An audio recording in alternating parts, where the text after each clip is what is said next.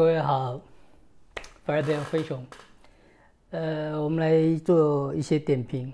那我之前在群组讲到，大概我会比较偏重这种进阶版的，呃，所以至于你是刚刚开好相簿或者最近才画的，我也会点一次，就是稍微点评一下，然后摆摆在比较后面，所以前面会比较偏重，我挑一两位。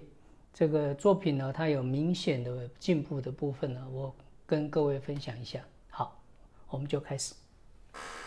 呃，这个是我们刚才今天早上讲的哈，那你可以看到它的暗面里面的一个色色彩，这个的 ultramarine 以及它的呃这个叫做 f e l l blue，ultramarine 跟 f e l l blue 的混合使用，使得它这个地方的暗面呢，这一块的暗面呢，它就会。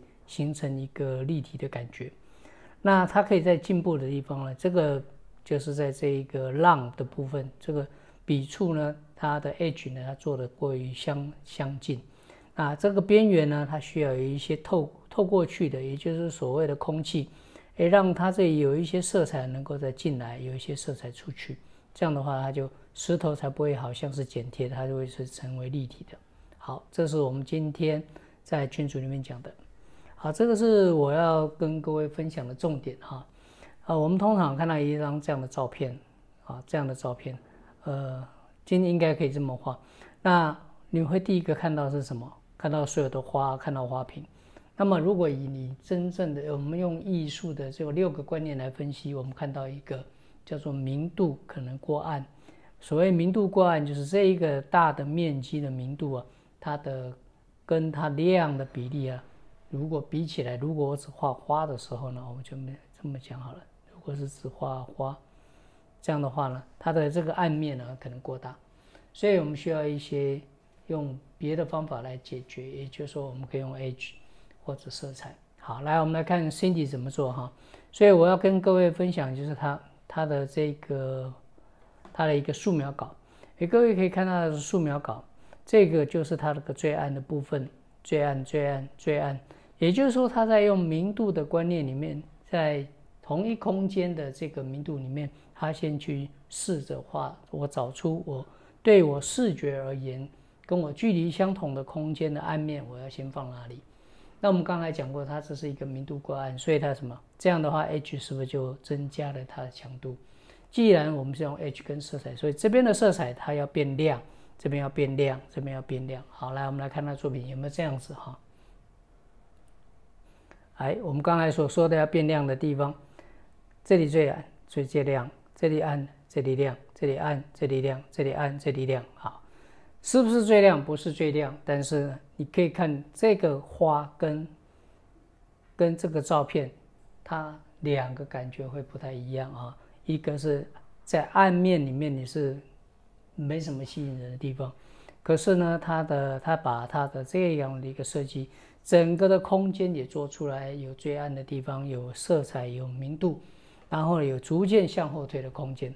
还最重要一点呢，他把灰的观观念已经带进来了。各位可以看到这个紫灰啊，这里的紫灰色，然后呢，这里的边缘线，然后这里的暗面是同一个色彩，然后带了 yellow ochre。这个跟我们讲小分的那种大头狗的暗面其实是一样的。这个代表了这个叶子的影子，这个代表了这个阴影的半，呃，这个这个形状。那这个月什么是圆的？因为它是圆的，所以它的暗面交界线、交界面都是圆的。那么虽然简单的一笔，可是它富含有各，呃，各，呃，这个我们所谓基本的六个观念，它都放进去了。哈，好这个是我第一个跟各位分享。第二个就是这张照片，哈。Julie 画的哈，Julie 选这张照片哈，你们可以看到，如果呃突然转过身来一看，哇，暗暗的一片，对不对？所以它也是一个明度的困难。那我们来看看 Julie 是不是用 Edge 跟色彩解决？好，来我们来看他的作品。好，你看它的明度就没那么暗了哈。那我们有没有看到它的 Edge？有哈，这里非常强烈的 Edge，好，非常强烈的 Edge，明暗。暗面被亮面包围，或亮面被暗面包围，各个不同的分配的部分，edge 的部分呢，然后慢慢慢慢的递减。它不是因为呃，这个是一个重复性的 edge，所以你们不能把它当做点状或一个条状，因为它的重复性非常高。所以基本上，如果你远远看这个，你只是看出一片东西，就像斑马一样，你不会看到斑马的其中一条线啊。所以斑马线的一个效效果就出来，这个也是一个重复性的 edge。所以两个重复性 edge 其实都把它视为块状，块状以后呢，它就慢慢的往后延伸条状，然后慢慢有丝状、点状，然后最后最后呢形成了一个雾状的一个效果效果。你们可以看到了雾状的效果就出现了。那这跟照片比起来有什么不一样？很大的不一样啊，对不对？啊，它有筛选了，为了让这边的雾状也就慢慢不见，所以不是完全一个。照片的复制，但是比照片的复制，呃，比照片本身好看。好，这是两张，我先跟呃各位分享。也就是说，如果你是初学的，你要到进阶的这个这个部分的时候，就舍弃一些我们视觉的复制，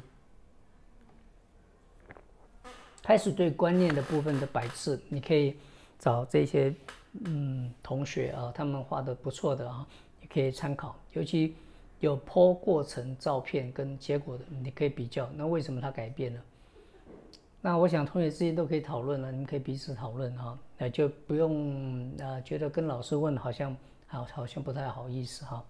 其实是不用了哈。那不过这三点就是我要跟各这两两个作品呢特别提出来的，其他的是在教学的部分啊，这是比较进阶的。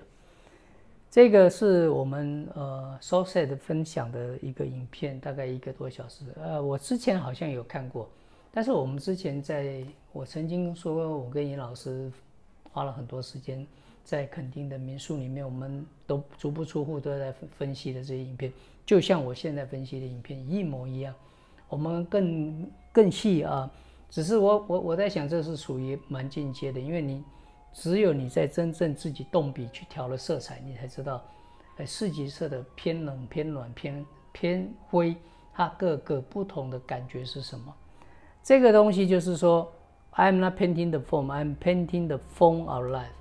就说我们通常我们都是这个呃吴兆明这个画家他们跟我们讲的，他分享说，我画画我并不是看的光去画光线，而是去画光线的这个形态。呃，或者说他不是去画个形，他只是画光线的形，这什么意思呢？就是说，假设呢，你这个光你在我的手上面只有这一块，可是呢，如果你要去画光的形呢，它有晕开，有光晕啊，有反射光，有各种不同，各式各式各样的光线会出现在它的环境，所以它是画一个 relationship，就是说它对跟光跟产生在这物件里面跟。环境之间的一个关系，所以他的作画会有什么不一样的地方？他就是用这个，所以他说他的一笔下去是包含了形、光线，还有空气，你要让它转动的空气，还有包括它的动态，它的 gesture 啊，gesture 就是动态的意思啊。这个 gesture 的部分有有一门一一门学问啊，像像啊 David l e v i l l 的太太哈，就 Sherry McGill，他是一个艺术家的博士。啊，他大概六十几岁，他最擅长研究的就是 gesture，叫做几笔，就是用简简单的几笔的素描动态，就能够掌握一些人的设计啊或衣服，所以他的有有些很多设计的原稿都用在很多建筑啊、很多衣服上面都都是他设计，所以 gesture 本身就是一个非常非常深的一个学问。好。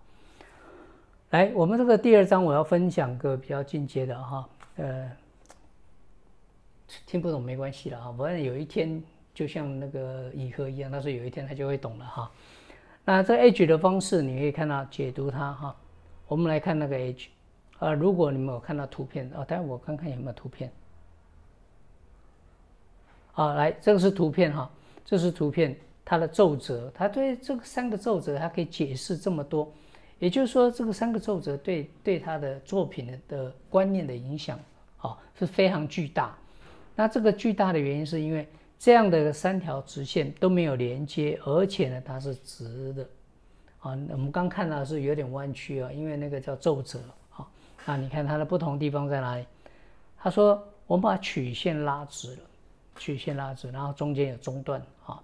啊中直线的原因是表达那一部分的动态，动态的就是我们叫我们叫做 gesture，就是我们在讲的呃 Michelle McGraw 他们非常专非常专长的这部分啊，怎么样用一点点的线段来代表这个手的哎是在移动啊，它就有个动态的感觉。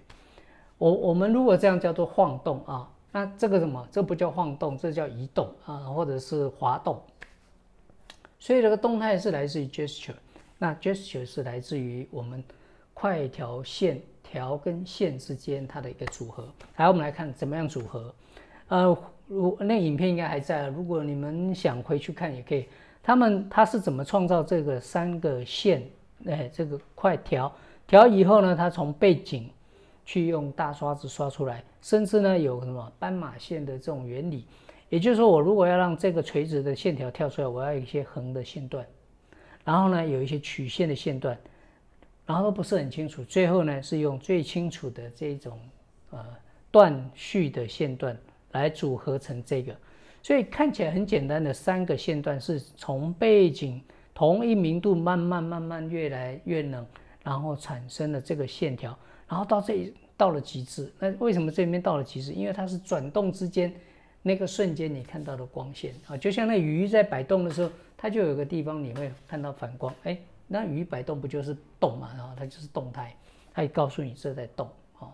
所以他画的人是含有光线、空气、动态。所以这个是他说他有一笔里面有摆了四个方向，所以他才会不断不断的去模拟。去找出那个动态的位置在哪里？好，这个是一个大师的一个精华。我们我们在讲大师，不是去捧吹捧他，是，我们是真实看到他的把他观念放进来。他放了谁的观念？放了哪些？他放了 Sherry McGraw 的观念，放了谁的观念？谁的观念？他通通放进去，然后他用一笔把它表达出来。那这就是我们没办法，不是没办法，是我们要练习很久，我们才做得到的东西。好。所以你可以看到第三点呢，也就是说直线的原因啊，就像直线的这个用在于条状亮面，很适合什么？你头发的甩动，待会我们来看头发的甩动也是可以啊，手肘的滑动，手肘的滑动也是可以。我们可以来来找啊，我们这里有哈，我好像也做出来啊，你可以看到这种头发，它这个这几笔哦，如果是我们以普通人来画，大概你不会想象到。呃，他这里没拍到啊，不会想象到这个头发里面有哪一些线条，你是要把它拉直，然后呢中断，你看你可以可以看到它是拉直有中断，然后呢有一些穿过暗面，有一些没有哈，那这个东西就是操产生 gesture 所谓动态的地方，那这个它的这个方式呢，可以产生呃我以前所不了解的东西，所以我们我最近在画的人像，我也尽量往那方面去。诶，揣摩他所说的这部分好，那这个部分呢，其实呃，这是在他开场白里面讲的，背后这个是他的照片。你看，我们是选照片要选没有主题，所以像这种就是没有主题，因为你也看不到脸，看不到头，你就看到一团黑黑的阴影这样。所以他他把最重要的他的他的思维，他把它讲出来，就是 mid tone，mid tone 就是中间调子。好，这个在英文里面直翻的话了啊，其实我我们我们的我的方法是这样：微光，你到微光就是光线的强光到转到没有光之间的那一块叫我们 mid tone，那 mid tone 就是色彩我要买进去的地方，它也一样哈，它也是这个 color 在那里，我不是抄它的啊，这是我们自己发慢慢慢慢发展出来的哈，但是中西方的解释是不太一样而已。好，第二个叫做 light，就是亮面。好 light，但是呢，亮面我们不是说吗？你亮面是不是因为反光啊？像这个手肘这个地方，因为反光你就看不到色彩，这是必然的。那它的讲的英文就是叫 wash out 啊，因为我把你的色彩洗掉了，光洗掉你的色彩，所以你看不到色彩，叫 wash out。Local color is wash out，所以就是他讲的啊，low wash out。再来第三个叫 shadow shadow，shadow 就是我们讲的阴影哈。那我们是在暗面，那我们呢？我常常在讲说，暗面有一些色彩的溢出，啊，色彩溢出在人像里面就有。各位看到这个人像啊，这是大概几百年前画的啊，你可以看到这里的暗面，这是暗面嘛，这里是亮面嘛，哈，这暗面的色彩呢溢出到这里来，这个就是我所谓的色彩溢出。他的想他的说法是因为 environmental 就是环境色，环境呃打在它的暗面上，那我们我们的说法是我们的暗面的颜色影响到环境，好，whatever 就是呃彼此互相影响的，就是说它是一个 relationship，它是一个互动的关系。啊，不管是从你的脸的颜色打到你的背景叫溢出，或者从背景里面的反射到你的脸上。Actually，哈，基本上哈是，它是一个关系，哈，它你用简单的一句话，它就是关系，哈，所以是反映出画画不是画一个 object，不是画一个 subject，它是画一个 relationship from the subject to the environment，environment，这两个东西的关关系，你把它画出来，那么就是了，哈，好。其实我也不是要讲很多英文的，但是我们之前上课也都是英文的关系哈。如果如果你要站在一个巨人的肩膀上，像他们的三五十年的经验啊，像吴兆明这个，他现在是大学的一个非常资深的一个教授，那你要学到你不用再去注册飞两万公里，都都不用花很多钱，你最最最重要的就是把英文听懂啊。那如果你要学一样东西，大概没有任何人来强迫你学。除除非你很有很很大的热忱，你愿意做做这件事，然后你就愿意牺牲你的时间，去把这个工具学好，哈，大概没有其他方法，没有办法有人逐步去帮你翻译。好，这个部分就是色彩的溢出，我在下面的放大的部分，你可以看到它的 第一个，第一个这个就是我们所说的它的跟环境的颜色它是互通的。也就我们常常讲的，当你地球在旋转的天跟海、海空呃海天一色的时候，它就会有所谓 environmental 的 relationship，那 就代表这个这个东西在旋转，所以这这一笔你就可以看得到它的头在旋转啊。抱歉，我喝点水啊。好，再来。所以比较深，我觉得它比较深刻，就是我们现，我个人觉得我们现在比较欠缺对，对我们知道一级色是红蓝黄，二级色是红蓝黄任两色混在一起，三级色呢是红蓝黄三级都混在一起，但是有偏什么偏蓝偏红偏黄。那四级色是什么？四级色就是说你混完了以后，有一色来主导它。的变化，比如说冷色系啊，或暖色系，那其实他这个吴兆明这个大师，他里面的他就很擅长用这个四级色来主导。好，那我我证明给各位看啊，这个就是所谓的四级色的主导啊。你各位可以看，那我们现在哪有什么四级色？不就灰灰的灰的？可是请请问你可以叙述它是什么色调出来吗？难哦，因为。三个颜色以后，它有偏这边偏冷一点，这边偏哎，这好像偏蓝一点，这边偏红一点，这边哎，是不是每一个颜色都不一样？然后呢，各个颜色的偏都在于明度的渐渐的改变。好，这个是蛮难的，所以我们后来就演示出来，你会看到明度五是我们常用的，比如说我们明度五的调色盘，明度五的黑板。那慢慢慢的，我们就发现 Romeo d i l a t o 它是用四点八到五点二的，哎，它这个明度这个竟然到零点几，我们说一为单位，它是零点几为单位，所以它很精很精确。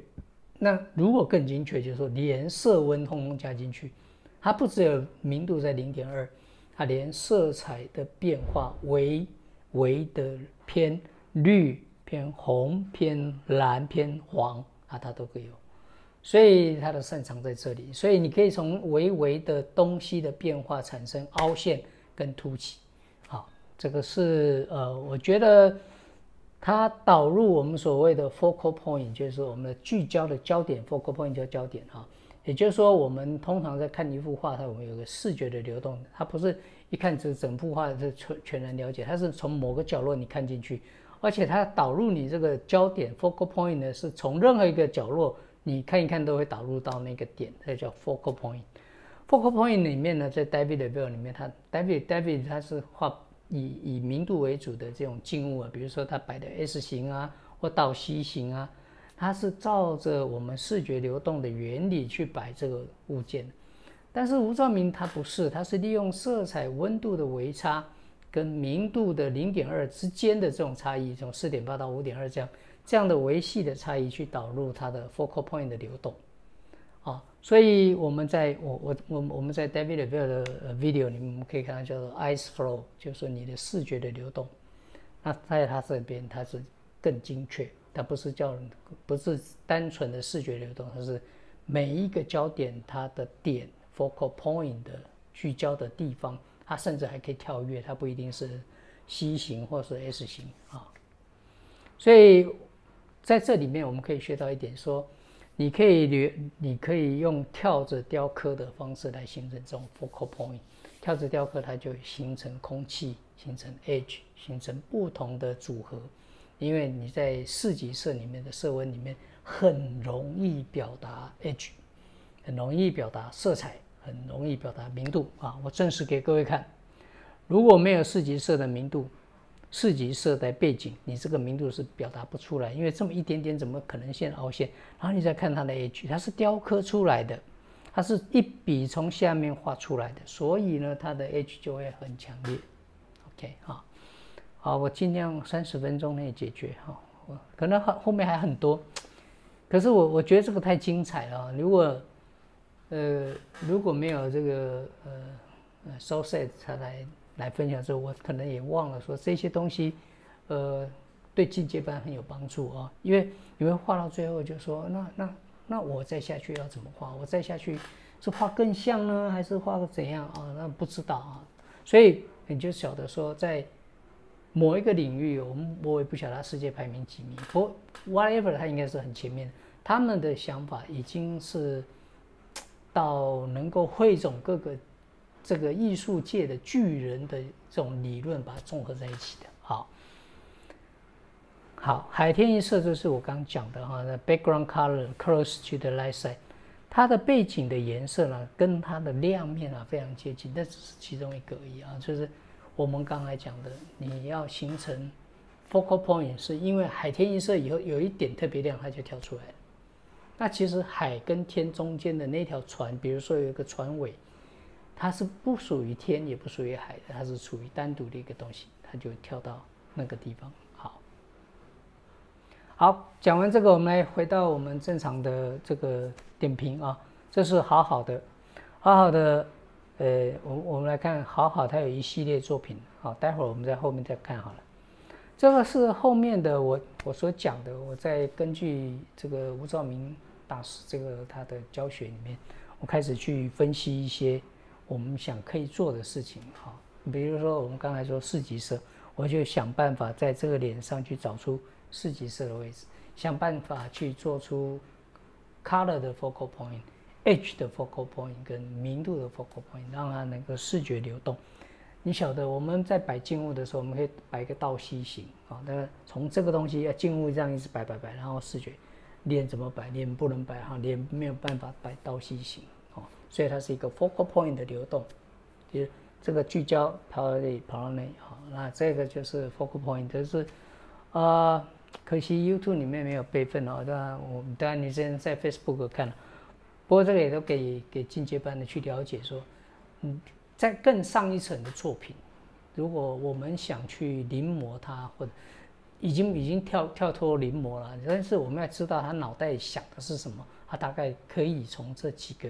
要点去去想，要不然你你去看那个一小时的无照影片，可能会看到睡着，因为你不知道从哪边去看他，他为什么要下一笔，或或者你也猜不出来下一笔要画什么。好，好，我们这个就是回到我们的群组里面的相簿哦。所以如果呃给各位一个意见，就是说你不管新来或旧人，你就尽量放在相簿啊。我我比较能够知道你这个你你的思路的这个这六张。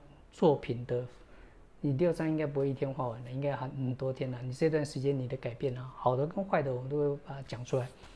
我们来看这个念的相簿，应该是喵喵的哈。好，念在以前哈，我们讲过它的房子的阴影哈，暗面里面非常丰富。好，我们来看它这个优点有没有留下？有哈，在这里，这里这张没有，这张有，这张有啊，这张的留下来的暗面在这里。各位可以看到它的暗面里面非常丰富的变化。好，暗面就是暗面哈，暗面里面还有色彩，就是暗隐藏的微光下的色彩。好，你可以看强光下面的微光。好，这张没有哈，这张一点点哈，但是它里面就带这个的暗面就只有单一一个色彩哈，它没有很丰富哈。丰富的意思啊，我我待会儿再给各位看哈，这个有哈，这一点点哈。那我们讲具象的东西，就会影响到你、你、你的笔触，你的笔触一被影响，你就后面的人来阅读你的东西的时候，就比较难去了解到你的双向，你到底要表达什么。这乙和的鱼哈，我们从以前的背景讲了以后，他就开始画的，这个是他的风景啊。乙和应该是这样了啊。那乙和里面的暗面呢？它以前因为这个鱼就是都在亮面，所以它找不到它的暗面的同一空间，所以我们刚才讲鱼的尾巴会垂直起来的意思是一样。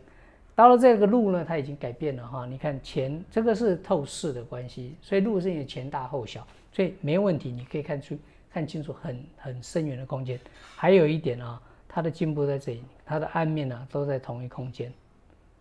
啊，当然这个几笔啊都跑到这里来哈，如果但是如果你光看。我如果把画面降到这里的时候，你就可以很清楚的看见，哎，这样就很好看哈，因为它的空间呢坐在同一个地方。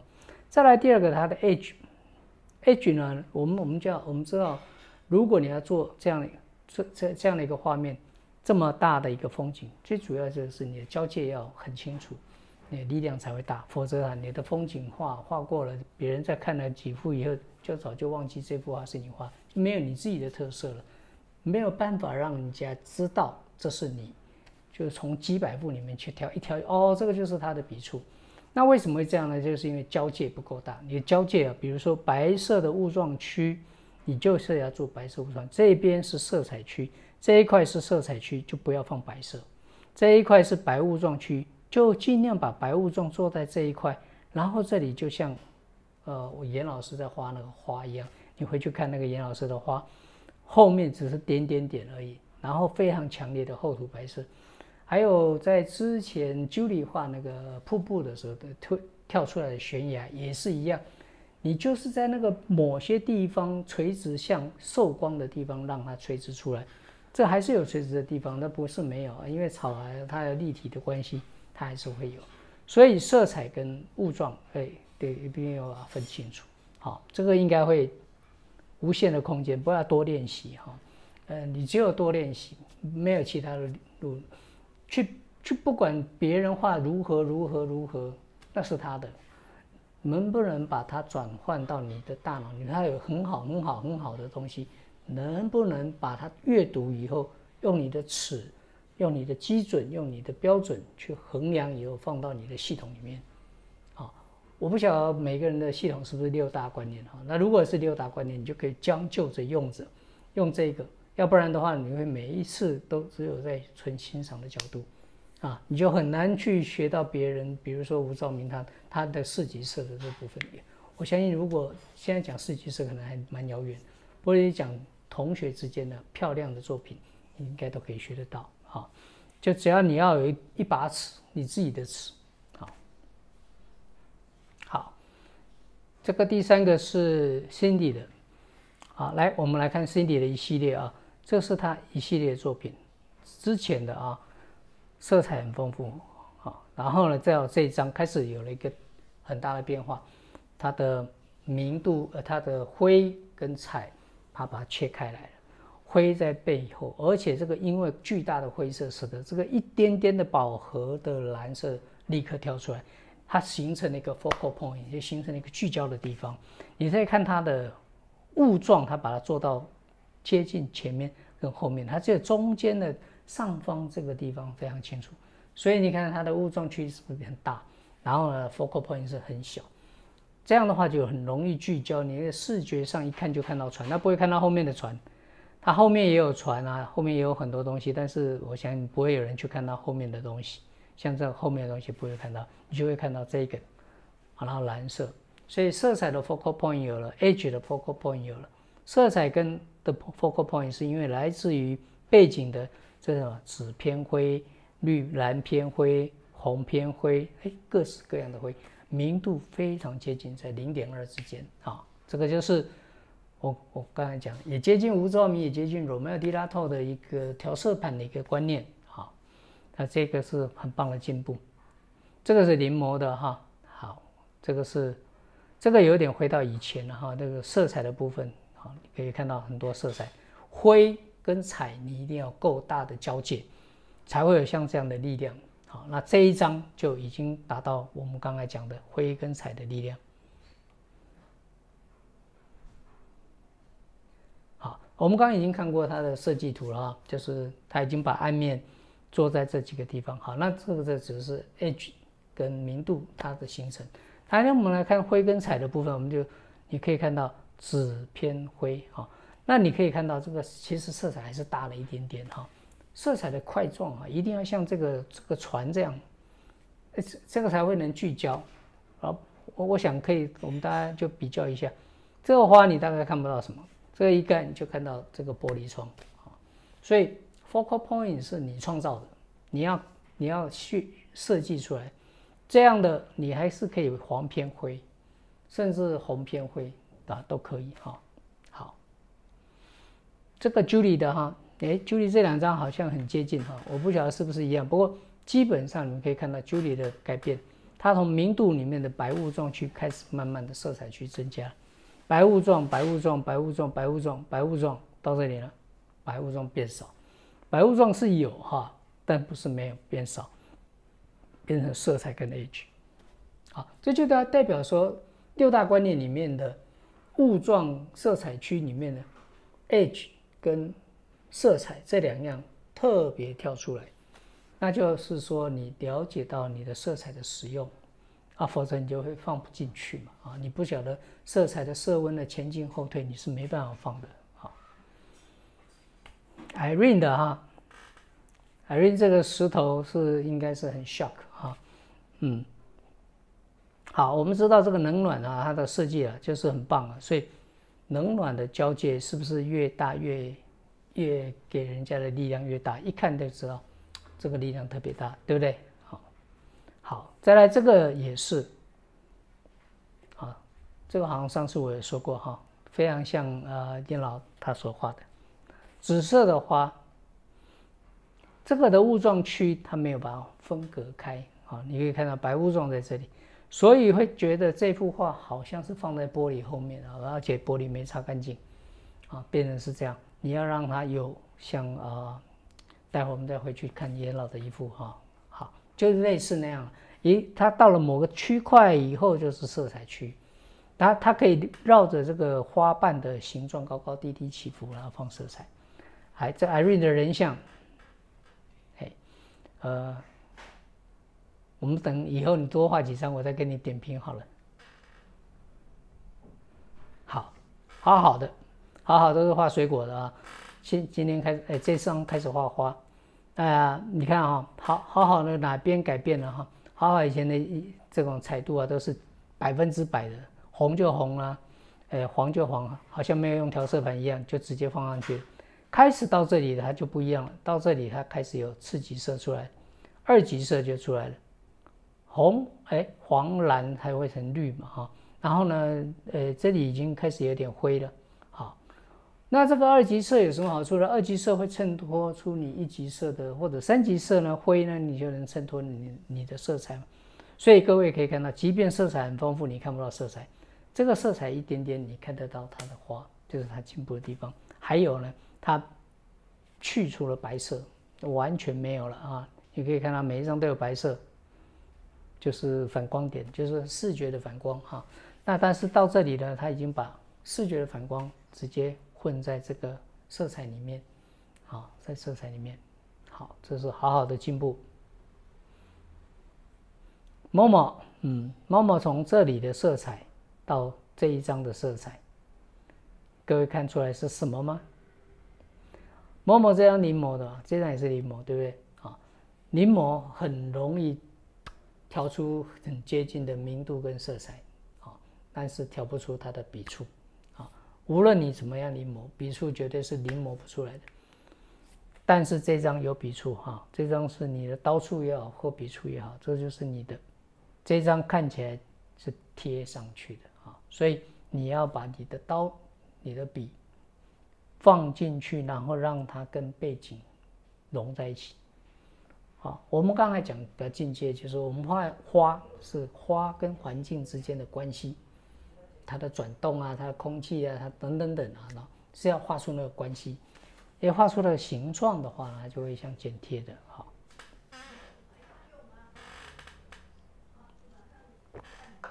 ，Lucy 啊，我们来看 Lucy 这个画动物的眼睛。啊，好，那这个 Lucy 这次画的这只狗狗啊，它的背景跟它的颜色非常接近。其实这个这个的观念呢，这一个观念，也就是说，在亮面的跟这个的某部分的背景。明度非常接近，就是吴兆明刚才讲的那个方法。可是它的光线不会是整片哈，它是头的某个上方啊或下方，所以你这张就看不到光线。原因就是什么？你看，因为它没有一个特别强的地方，要把光线做出来，有光呢就自然有暗面。你的暗面呢在这一块呢，啊，就可以用暗面的观念去做。暗面的观观念呢，怎么样让它用暗面去做出这个狗？哎，这个鼻梁啊，它凸出来了，鼻子这样啦，然后嘴巴下往往往下凹啊，然后这个这个嘴是凸出来的，因为这下面有块阴影之类的，啊，那个这样的暗面就会创造出它的空间。好，你可以看你的笔笔的笔触啊，都是很小的，好，基本上都很小的笔触。呃，我建议可以买个十二号以上的，好，不管不管什么样笔啊，比如扇形笔也要平。flat 也好啊，flat 就平的啊，或者是针形笔也好，你可以试着用很大的笔哦，来强迫你自己画一张很小的东西啊，好，他会想法会不太一样。哎，没了哈，三十七分，我好像超过好多哈，好，我们下次再聊。